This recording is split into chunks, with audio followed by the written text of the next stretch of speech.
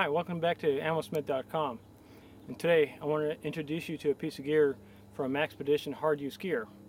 And this, what I'm wearing, is the Vulture 2 backpack. It's a very fine piece of gear and is ideal for day excursions or a 72 hour pack. So what I want to do is I'm going to take off the pack, I want to break it down for you, show you what I got in it, and show you all the features.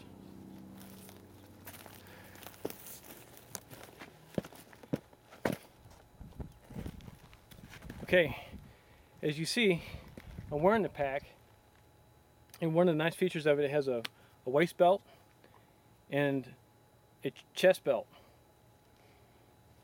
Now on the waist belt, you have MOLLE or PAL attachments on either side of it, which makes it really convenient for attaching GPS, mag pouches, hydration systems, or any weapons carrying gear like holsters or what have you. Now I'm going to take the pack off and kind of give you an idea of, of its size.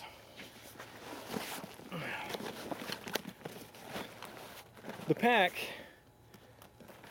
is decent size. It's almost the same internal capacity as an Alice medium pack, but it, being a frameless pack, you have to pack wise on this thing.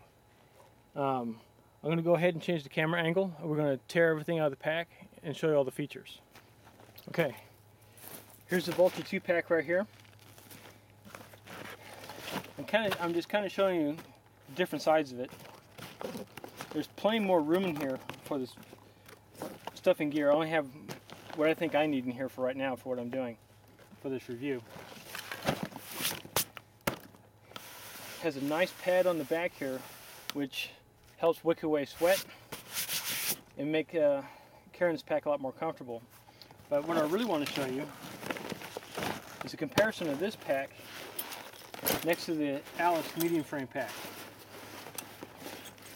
The only difference really is the Vulture 2 pack has much better materials than what the Alice pack's made of. There's nothing wrong with the Alice pack, but it's not designed to be used in such a way that uh, is comfortable. I've lugged these things around many of hills through Camp Pendleton, Okinawa, and Middle East, and I tell you, it's not the most comfortable thing in the world, but it works.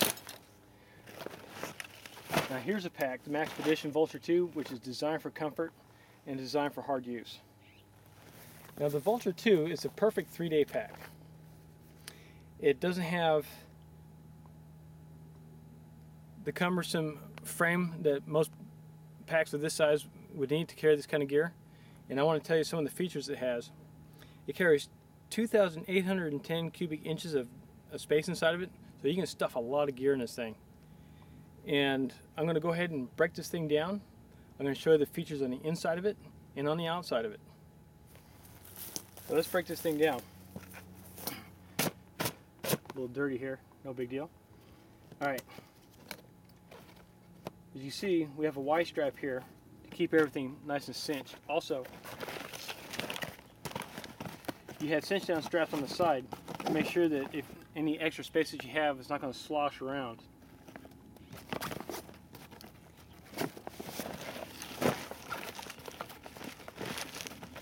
Now, in this compartment here, I don't have really anything in here at all, except for batteries.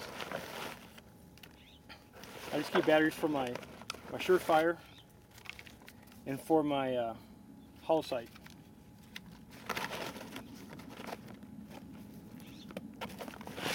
Now on the outer compartment,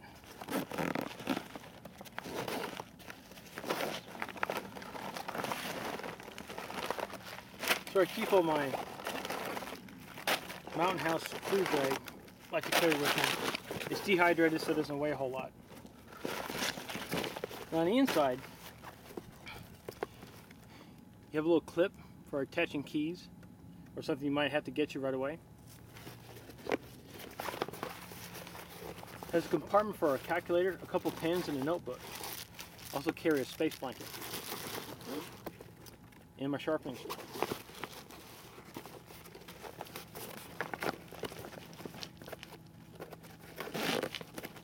Now the main compartment Here my MSR water filter.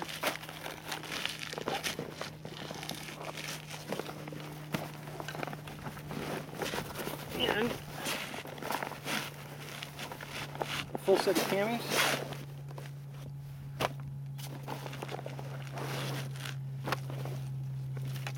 And there's plenty more room. Now inside of here, you have a little mesh bag here. You put whatever you want in there. You can stick in notebook, um, socks, whatever you think you need. But like I said, this is a frameless pack. So what you have to do is pack this thing wisely. So what I do is I pack it flat, like this. As we turn to this side, you can see on the on the waist strap, we have the MOLLE attachments and the PALS attachments. So it's compatible with all the MOLLE gear or the Alice gear. And that's available on both sides. And up and down the sides here, we have nine levels of attachment points here. On the back you have attachment points all across the back. On the bottom you have a rugged non-slip rubberized bottom which is great. Sometimes you can take your pack off and you drop it on the ground. In a lot of cases where I'm at it's going to be wet. So this helps keep uh, all your stuff dry. More MOLLE attachments over here. And then this is a feature I really like. Is this compartment right in here where I keep my HydroStorm hydration bladder.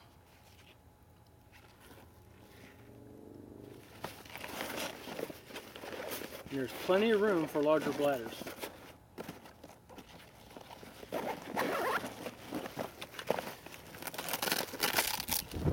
There's Velcro access on the top where your hydration tube pops out at.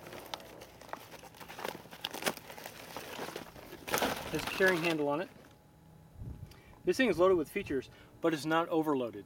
That's one thing I really like about this pack. It's exactly what you need, but it does have a bunch of stuff that you don't need on it. Now, as far as gear goes, I've owned a lot of gear.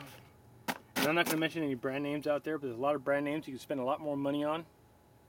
And for the money, I can tell you this is probably by far the most well-designed and thought-out piece of gear I got in my inventory right now for what I use it for. I use this as a three-day pack, and when I go somewhere, um, I will attach all kinds of gear to the outside of this, and this three-day pack will sometimes end up being a four or five-day pack. But that's not a big deal. I have to travel light and freeze at night.